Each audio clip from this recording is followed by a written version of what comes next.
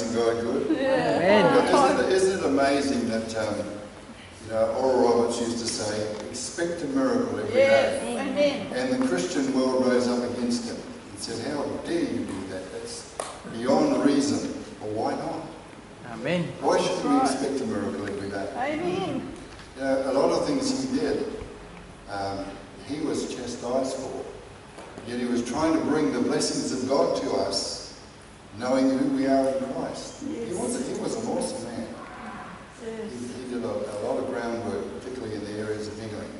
Amen. You know, the medical profession tried, tried to shut him down. Well, they did actually, in the end, shut him down because of his beliefs. He had a, a large hospital where he trained staff, uh, but there was also not just the worldly system, but also the spiritual side and prayer. And uh, the, the great um, medical association didn't like that. And so they would hammer him all the time. He was always fighting lawsuits against them. And uh, in the end, he, he closed certain parts of it down because it got too much for him. But he, he did a lot of good work, didn't he? Amen. No, we need to be excited. Then you hear, I heard just the other day, you know, and, and I, I, I, I struggle to, I, I know it's, I probably believed this many years ago, but it's like with the great amount of, of knowledge we can tap into. Many people think that when you get saved, God forgives all your sins. All agree with that? Yep. Yeah, that's it. But from then on, you've got to repent of every single sin you do. No. Otherwise, the devil will get you. They- they- they believe that. I mean, there's, there was a, um, particularly sort of about 56 years ago, there was 50 to 60 years ago, there was quite a following of if you're sick, then you probably let the devil in and uh, you've done something naughty, there's probably sin in your life, and, and that's how, how they used to think. Many used to think that way, some still do. Nothing could be further from the truth. Amen. The devil will have a go anyway. You don't have to open the door. Opening the door is a strange and sometimes totally misunderstood. Yes, you will open the door if you get into stress and worry and all those things. Not because the devil, you're giving a door, as he to the devil, you're giving a door to your own spirit because you're not trusting God. That's all it means. Worry, anxiety, stress, they all cause sickness. Even the medical world knows that. Because it releases things into your body. That interesting? Okay.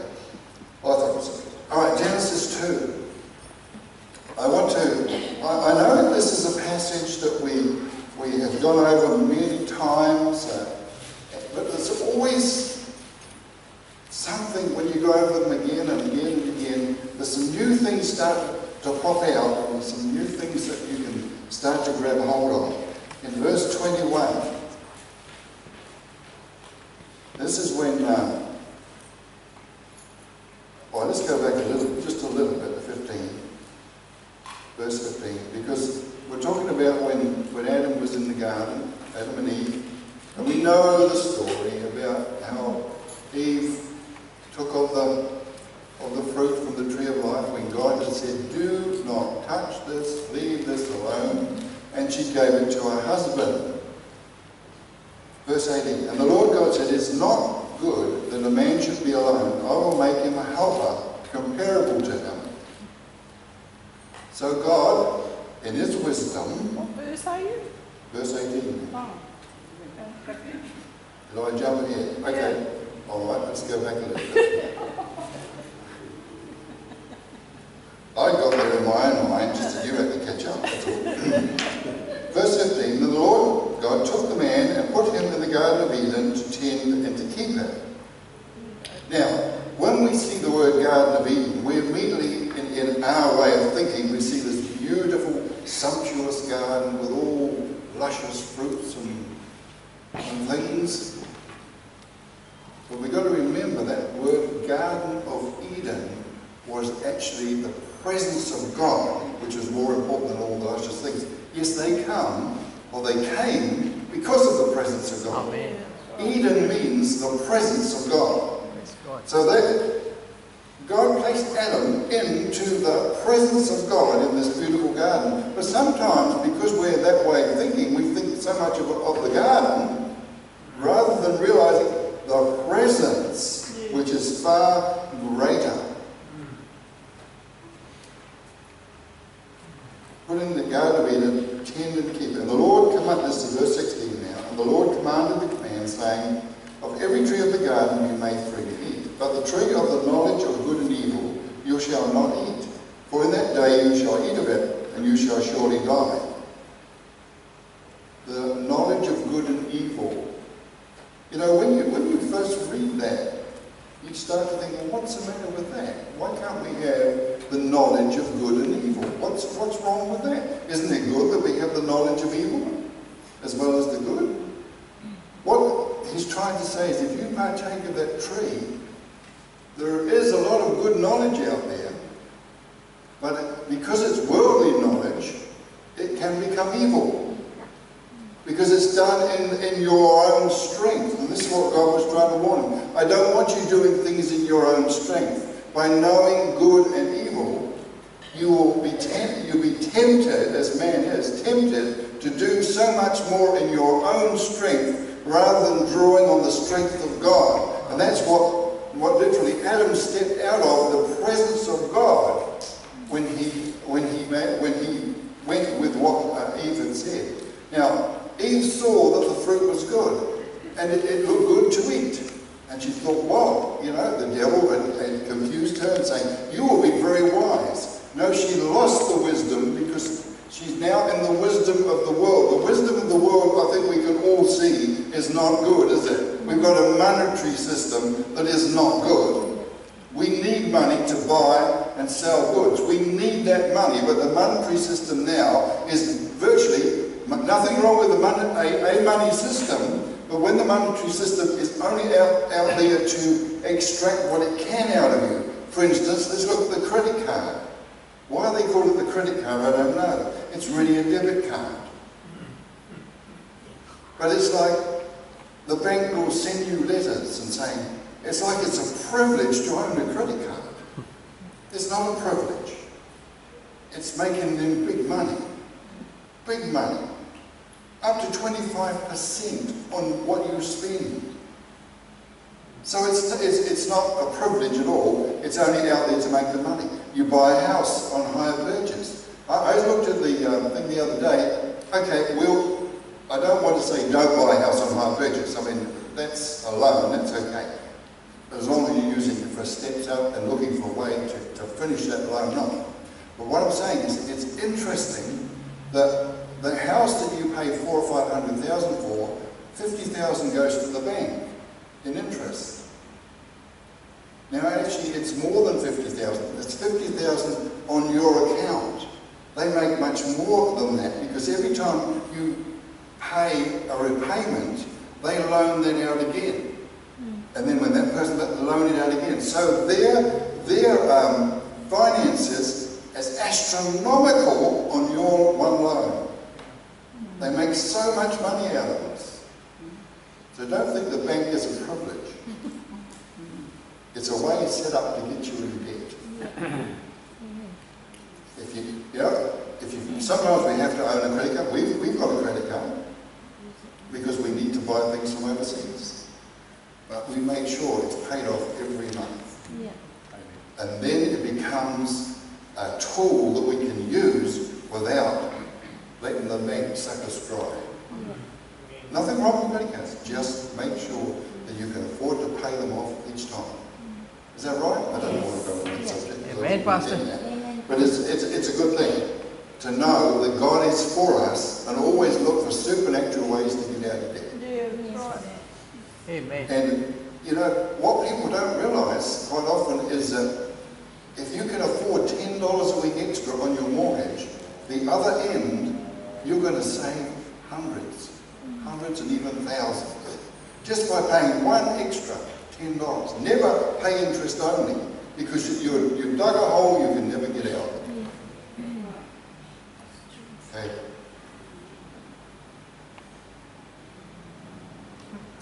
Amen, Pastor. You happy with that? Yes. Not offended, upset? Ah.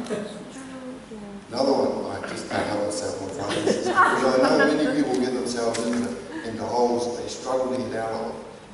You see this on, and, and the world system. It's, it comes on the TV about consolidate all your loans into one. Then it's only one payment, people. Don't fall for that. That is the devil's way of keeping you in debt longer. Each, if you've got several, you pay off one as quick as you can. And then with the same amount that you normally would have paid that, you then pay the second one. When the second one's paid off, now you've got two amounts that you normally would have paid, you pay off the third one, and you will be able to get a lot quicker. Consolidated loan, all you've done is extended your loan. Thank you, Father. Thank you, uh, Pastor, for your wisdom. Okay, let's Amen. go. We're in a garden. We're in the garden. Come on, wake up. We're in the garden. Feel the breeze. Can you feel the breeze of the garden? Okay. Verse 20. So Adam gave names to all the cattle, the birds of the air, every beast of the field. But for Adam there was not found a helper comparable to him, to complete him. The dog wasn't good enough. Cat wasn't good enough. All that, they weren't good enough. God had to have, God wanted Adam to have a helper. Remember, this is something that always, always totally intrigues me. Adam at this stage was male and female just as God was. Adam was male and female. I don't know how the internal strife will be going on in there. Because he was one, he was complete. So he probably didn't argue with himself like we do sometimes. anyway, verse 21, And the Lord caused a deep sleep to fall on Adam, and he slept. And he took one of his ribs and closed up the flesh in his place. Then the rib which the Lord God had taken from the man, he made into a woman, and he brought her to man. Isn't that awesome? Don't you love that man? Yeah. It's a beautiful rib, isn't it? You've got to appreciate it. It is beautiful. It is a beautiful rib. God did a good choice. Good thing. And he, and he said, "Oh, I think we need to go on 23. And God said, and Adam said, This is now bone of my bones and flesh of my flesh. She shall be called woman, because she is taken out of man. Therefore a man shall leave his father, father and mother, and be joined to his wife, and they shall become one flesh. And they were both naked, the man and his wife, and were not ashamed. Now why weren't they ashamed? The glory of The God. glory cloud was their clothing. There was no room for being ashamed because God, they were in the presence of God all the time. So that that was something that, can you imagine that? You, you know, you, you can just have that freedom. There's no lust, there's no uncontrolled sexual desire. It's just a total peace because you're in that presence of God. Okay, number three. Genesis 3. Now we go on, I don't want to read the whole thing because it takes too long, but the serpent was more cunning than the beast of the field, and he persuaded the woman, Has God indeed said? How many times have you heard that in your Christian walk? Did God really say? And you've challenged it. Okay, not you. I've challenged it. It said, did God really say that, that healing is for today? Did God really say that, that health, wealth, and prosperity, all those things, did God really say them? And then I went to the Word of God. God did say that. But they didn't have the Bible. She didn't have the Bible. And so he persuaded her to, to, to partake of that tree, of that apple, as we, as we so-called call it. Now, where, where shall I go from? Verse 6. So when the woman saw that the tree was good for food, that it was pleasant to the eyes, and tree desirable, to make one wise, she took of its fruit and ate. She also gave her husband with her, and he ate. And the, the eyes of both of them were opened, and they knew that they were naked. And they sewed fig leaves together and made themselves coverings. What an interesting thing. The moment they disobeyed what God had said, that Eden presence of God lifted. They saw they were naked because they'd taken of the good and evil. Then the good and evil now was starting to come in. Now, for instance, the, the sexual realm, the sex, the sex that God's given us is a beautiful gift that God has given us. But it can be so perverted that it can become evil. We all see that, don't we? That's, that's not a problem. They saw, and it's verse 8, and they heard the sound of the Lord walking in the garden in the cool of the day, and Adam and his wife hid themselves from the presence of the Lord, of the Lord God, among the trees of the garden. Hid themselves. Before they were able to walk and talk with God, now there's an area of guilt that's come upon them. How many times have you, don't put your hand up, how many times have has situations like this happened where you have owed money to somebody, you've had an argument with somebody, or you just don't want to be near somebody, so what do you do? You hide yourselves from them. You might even cross the road to avoid them, or look the other way that you didn't really see them. You may do many things. Why? Why is that? Because you feel guilty that you owe that person money. Even though that person, you may be working with that person to pay that debt off, you still feel guilty that you owe the money. So you hide from situations rather than face them. Facing situations actually does help a lot in getting that pressure off you. You owe money, go and see somebody, talk about it. Even if it's a, a creditor, go and see them. Say, look, I'm stuck at the moment.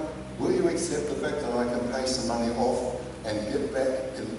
Don't. Many people ignore it, and the, and the situation gets worse. Particularly when, when you start getting interest on interest on interest. The bill gets bigger and bigger and bigger instead of just, just facing it. And the Lord called to Adam and said to him, Where are you? I thought So he knew where everyone was. Is that right? He's doing this for a purpose. He's challenging them. So he said, I heard, Adam said, So I heard your voice in the garden, and I was afraid because I was naked and hid myself. And he said, Who told you you were naked? Have you eaten from the tree of which I commanded you that you should not eat? Now watch this part. This is the changing part. This is why we ended up with, with needing Jesus to come back. Because at this point, verse 12, then the man said, The woman whom thou gave to me, or gave to be with me, she gave me of the tree and I ate it. Now, do you see anything there where Adam is repenting? Now, I know nobody here would ever shift blame to others. You know, it's, it's like, no, I, I, take full responsibility in my life. It couldn't possibly be, you know. I, I'm in the situation because blame, blame, blame. Now, what would have happened, we'll never know, but what would have happened, do you think, if Adam had got on his knees and said, Lord, I have sinned, please forgive me, let's work something out, let's rectify this. But he didn't. So God challenged him. The woman that thou gavest me. Now, let's go back to the point where the rib was taken out and made into a beautiful woman. The two became one. Now, when Adam and Sinned, and I believe it was Adam's sin, when you see, see Adam was the original. The woman was given to complete the man. But the woman part of man was taken out. That's why we, we'll never understand each other. we'll try, we'll do our best, you know. Because that bit was taken out of man. Yeah. So how can you ever, you know, when women say, men, I wish you'd find your feminine side, well, you are.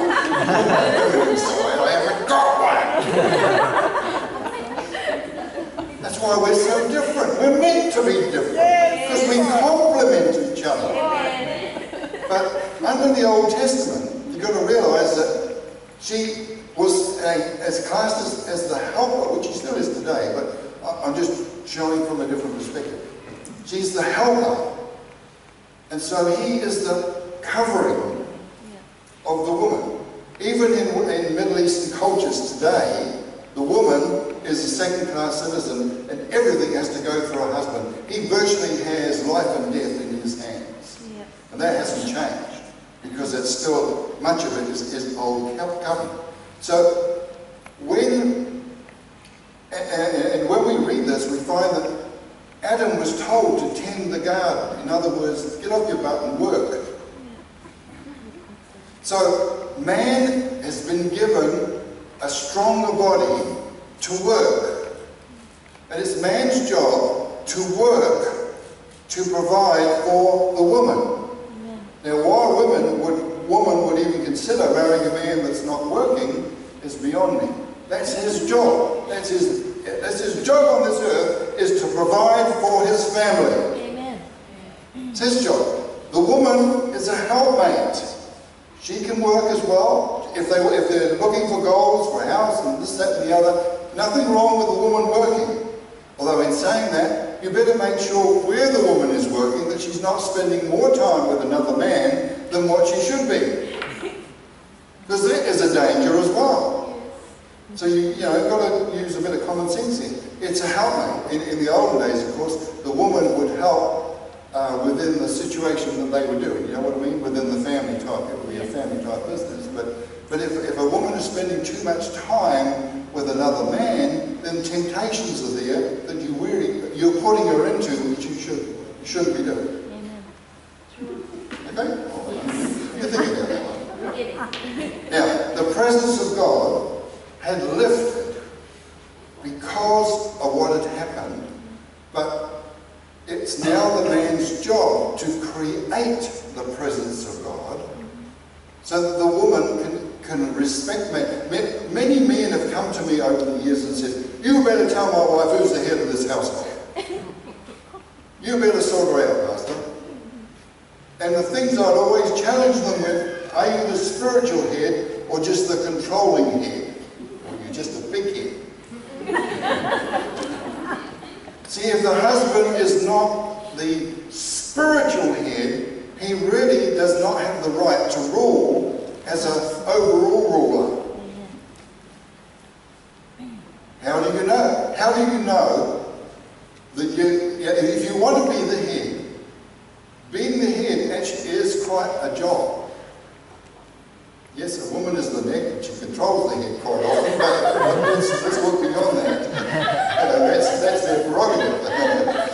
but if you want to be the head, you've got to act like one. For instance, if you have debts and the phone rings and you know it's the creditor ringing up the bank, ringing up, wanting to know why you haven't paid, then it's not for you to go and say, wife, I want you to go and answer that and you fix it. Somebody knocks on the door and you look out and you think, oh, I don't want to talk to them because I owe the money. And uh, wife, you better answer the door. No, as being the head of the house, you've got to be the head of the house. Amen.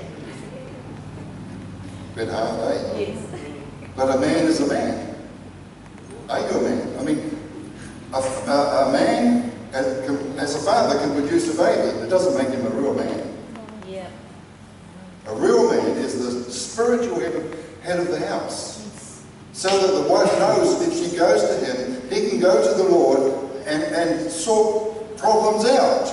But nowadays, many men have reneged and let their wife be the spiritual head because they can't be bothered. I'll move on. I've, I've sort of probably stood on um, enough toes now. Let's, let's move on. Verse 12. I said that one, didn't I? And the man said, The woman whom you gave, the blame game. We must take responsibility for our life. Man's position. If you if you don't want to be the head of the house, you've got to be the spiritual head of the house. You've got to put time in to, to walk and talk with God.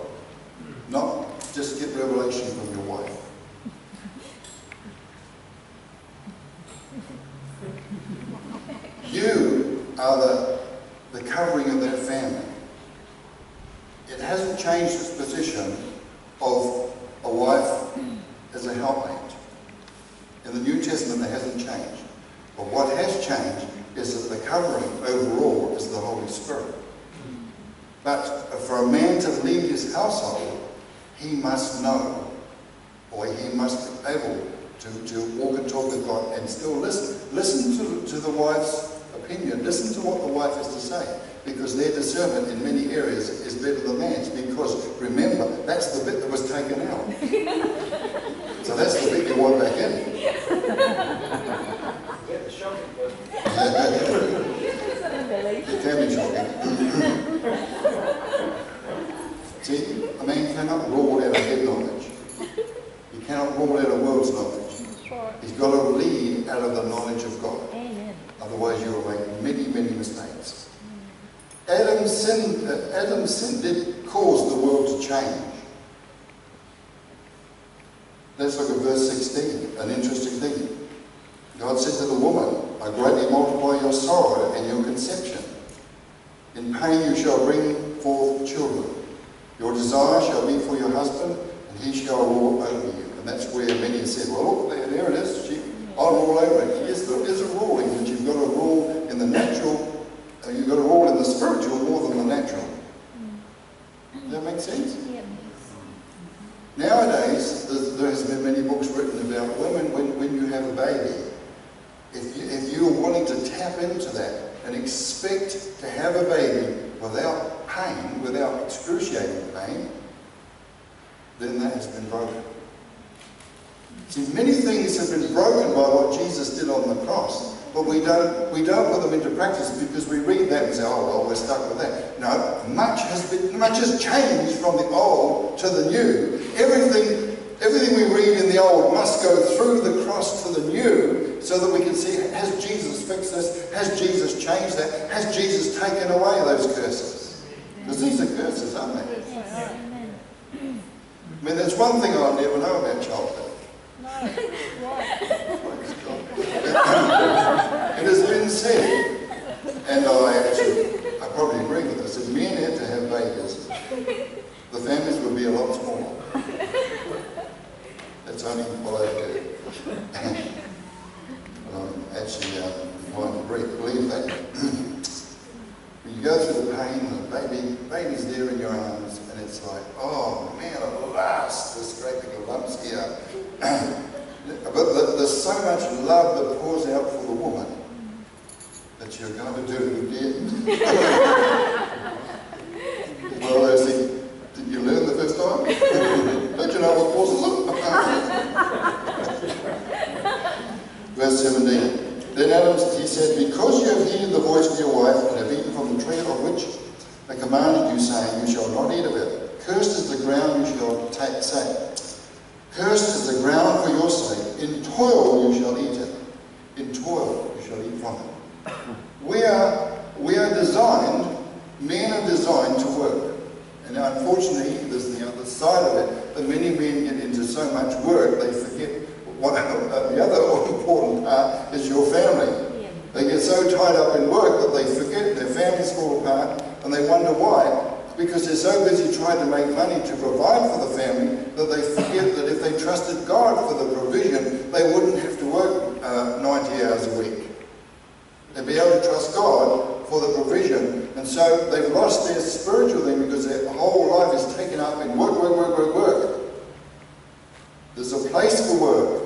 There's not a place for overwork stopping your the, the, the, the needs of your family, the spiritual needs, the, the, the playtime needs. You only get one shot with your children. You don't get a, I mean, we can look back and say, oh, if only we'd done this and done that and done something. You get one chance with your children as they're growing up and make the best of it. Don't put work as priority, priority, priority. Look at family as priority. Work, you can get another job, you can change jobs, you can, you can get, a, um, you know, build a business, whatever. Don't build a business till you get to the, the point that you've lost your family. That family is more important than business. Amen. Amen. But man's ways of thinking, because he's been given that, that goal, he's been given that, that desire to provide sometimes His provision comes from the good and evil and not the good of trusting God to meet those needs. Does that make sense? I haven't totally confused you? Are you with me? Yes. Yes. So important. So the, the ground was cursed. And we all know about that. I mean, weeds seem to grow faster than the good stuff, don't they? You notice that? I looked at our front garden the other day and I thought, wow, it's out of control. There's so much cursing going on here. it says that you will toil through sweat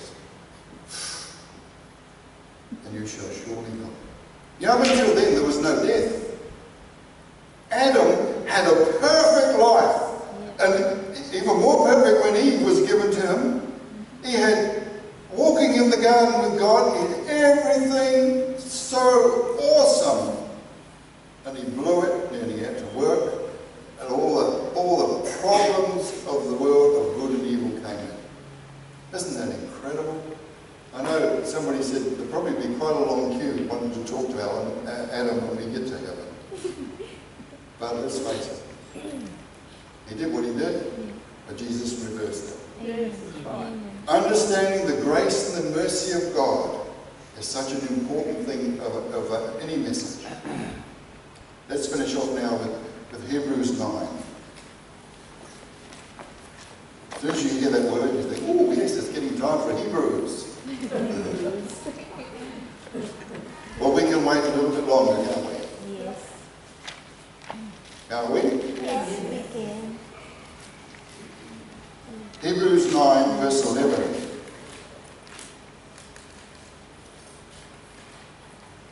But Christ came as high priest of the good things to come, with the greater and more perfect tabernacle, not made with hands, that is, not of his creation, not with the blood of bulls and goats and calves, not with the blood of goats and calves, but with his own blood, he entered the most holy place once and for all, having obtained eternal redemption.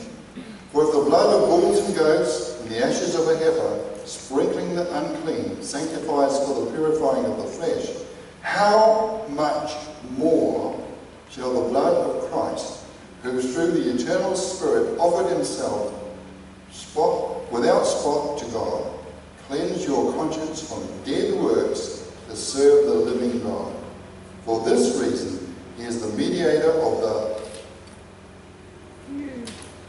new covenant by means of death for the redemption of the transgressions under the first covenant, and those who are called may receive the promise of eternal inheritance.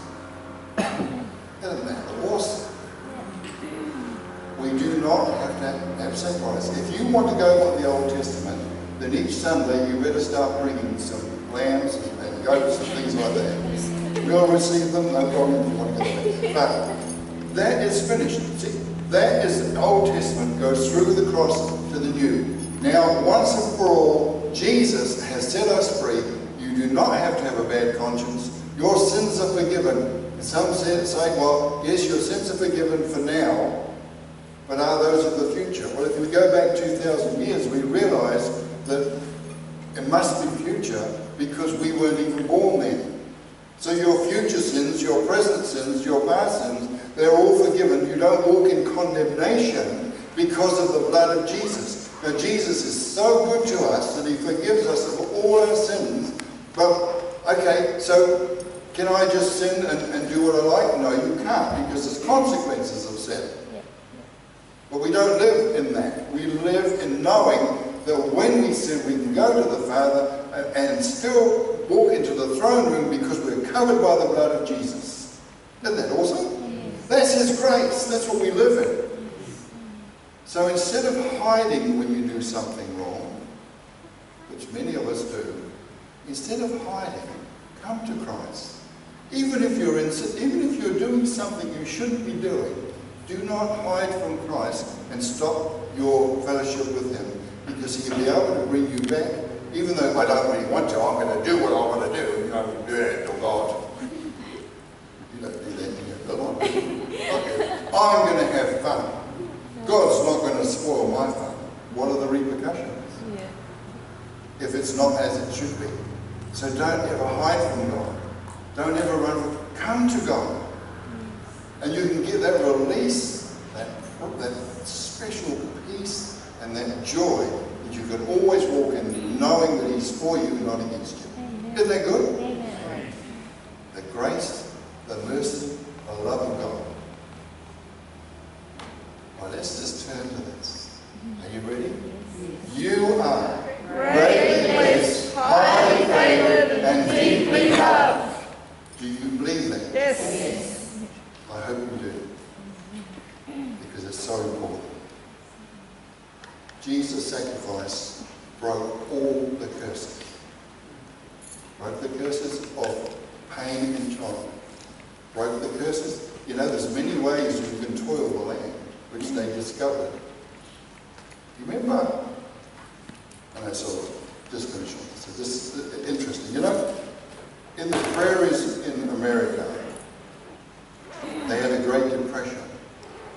And much of their food they couldn't grow because what they tried to do is they ploughed the land like they did in other countries. Like in England, they plough very deeply. You know, they plough that deeply that they get a, a furrow. Is that right? And so, and so they thought many people were immigrants, so they came from all over, all over Europe. And they came to America and they get on the big, big prairies to, to plant their crops of, of uh, usually corn, wheat, and, and that sort of thing. And so they tried to use the same things as what they were using in Europe. So they, they ploughed the land really deep. But because there was much more, uh, more sunlight and, and wind in that place, what would happen is that the furrows would turn to dust and they'd get these huge dust bowls and, and the crops would die because they, could, they couldn't work through that dust. They couldn't, couldn't get the, the rainfall to work. So somebody in their wisdom, this went on for many years, and, so, and they lost many crops because of it. Somebody went to the Lord and they said, Lord, there must be a, a way, there must be a reason we can stop this. And the Lord showed him, stop doing the big furrows and start just doing the top two inches. And so they ploughed just the top two inches. And by doing that, it didn't create a big pile of dust. As the, before the rains, it was only, only small, and then they were able to plant the crops and the plants grow. Just through getting a, a, a word of knowledge from God, something changed drastically. That can happen to you. Whatever situation you you can get a word from the Lord, a word of knowledge, a word of encouragement, a word of wisdom, and your life can change. Uh, You know, start going to God. Talk to God. Talk to God. He's talking to you all the time, but we just don't always hear. One, because we don't want to. One, because we don't want to spend time with Him. Please stand.